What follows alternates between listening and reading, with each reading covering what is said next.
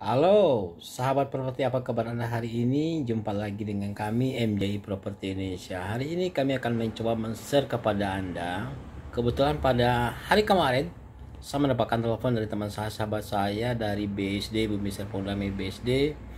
Oh, kebetulan Mila juga punya channel oh, yang berjudul Warung Kopi sebenarnya, semacam Starbucks lah. Uh, tapi kita tidak membicarakan masalah warung kopinya tapi kita membicarakan masalah bisnis bisnis ke depannya kebenaran Pak Mul ini uh, ada niat berbisnis di bidang properti sebagai pengembang properti tapi khusus pribadi. Uh, ada lahan itu tiga unit rumah yang akan kita kembangkan cukup tiga unit saja dengan harga sekitar 600-700 jutaan. Uh, tapi uniknya akan kita bahas di sini adalah konsep konsep bisnis properti kita adalah bisnis properti dari warung kopi. Nah, ini yang menarik guys. Bagaimana sih caranya berbisnis properti dari warung kopi? Anda tahu warung kopi kan? Anda juga pernah ke warung kopi, saya juga pernah warung kopi. Uh, kalau bicara warung kopi selalu saja menarik untuk dibicarakan karena di warung kopi banyak sekali politisi-politisi ulung.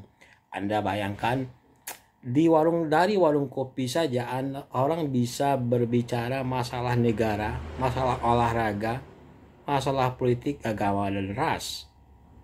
Tapi di warung kopi ini kita tidak membicarakan masalah agama, ras, politik dan sosial kemasyarakatan lainnya. Kita hanya membahas masalah bisnis properti. Uh, seperti apa sih konsep bisnis warung kopi dan bisnis properti dari warung kopi? Kolaborasi dengan Mulyono BSD Serpong. Oke, ikuti terus video berikut ini.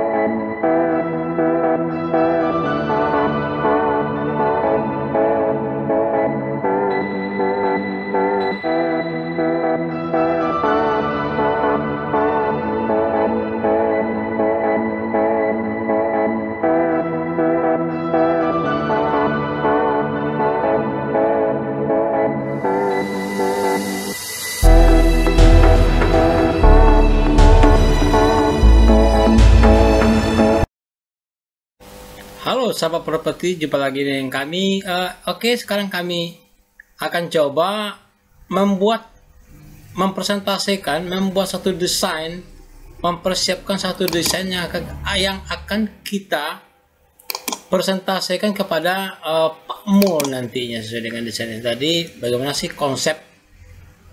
Ada tiga, tiga unit, tiga lahan yang akan kita coba membuatnya nanti uh, yang akan kita presentasikan ini adalah contoh rumah yang kami telah kami buat dengan luas lahan 14 14 setengah meter ke belakang 14,53 meter ke samping 9,6 dua lantai.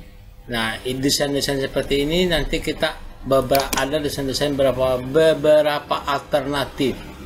Jadi sebelum kita menghadap kepada calon investor kita persiapkan dulu dokumen-dokumennya yang diperlukan. Salah satu contoh adalah gambar. Gambar nah, ini adalah gambar pertama desain pertama desain kedua.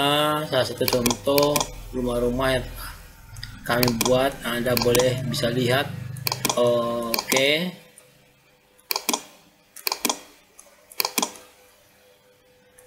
Selanjutnya ada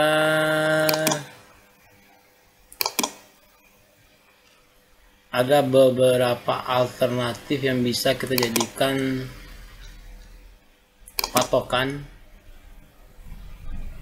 Nanti kita diskusikan lagi dengan para investornya di maunya seperti apa. Oke ini dari segi desain guys. Uh, selanjutnya bagaimana sih cara menghitung secara global? Untuk ber, bisa bertemu dengan untuk bisa mempresentasikan kepada investor kita perlu sesuai gawat kita perlu juga menghitung secara garis besarnya. Contohnya seperti ini kita buka Excel nya. Oke. Oke, uh, rencana anggaran. RAB secara global harga prediksi ini harga prediksi, tapi harga prediksi ini juga tidak jauh-jauh amat dari uh, harga yang sebenarnya lapangan kita anggap seperti itu. Oke, harga tanah bersih sudah termasuk izin IMB dan sudah pecah sertifikat. Tanah yang dibutuhkan per unitnya lahannya maksudnya itu 90 meter persegi 12 kali 8 harga tanah mentah kita anggap dia tersebut ratus ribu per meter guys pecah sertifikat per unit 3 juta 3 juta ini sudah termasuk IMB harga bangunan per meter harga bangunan per meter bersih 3 juta lima ratus ribu. Uh, kalau rumah kelas kelas premium itu 3 juta sampai 5 juta. Ini kita ambil di bawahnya saja sekitar 3 juta lima ratus ribu deh. Sedangkan luas harga luas bangunan yang, yang, yang kita bangun itu sekitar 64 meter persegi oke? Okay? di sini udah ketahuan tanah mentah 96 meter persegi dikali 1 juta 500 144 juta. Oke. Okay? pecah sertifikat per unit itu 3 juta. Harga bangunan per unit 64 64 tadi ini oh ini apa namanya? Bangunan tipe 64 64 dikali 3.500 224 juta. Total modal bangunan semuanya total modal HPPH produksi 371 juta. Oke nah ini per unit guys. Tergantung sekarang kita mau jual berapa. Biasanya rumah per unit itu kalau harga modal 370 juta kita bisa lagi ambil untung sekitar 370 juta juga sekitar 400 lah. Berarti kita bisa jual di harga 700 jutaan 1 2 3 4 5 6 sekitar 700 jutaan nilai jual. Nah ini ini luar biasa guys. Nilai-nilai profit yang kita dapatkan bisa 100% nilai jual. Oke. Okay. Nah, inilah hasil hitungan-hitungan untuk, untuk sementara yang bisa kita persentasikan nanti kepada Pak Mul di BSD yang akan uh, sebagai investor.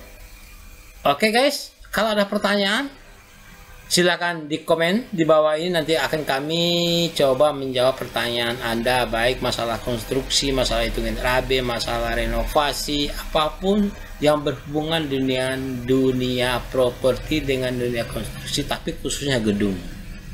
Oke, Assalamualaikum warahmatullahi wabarakatuh.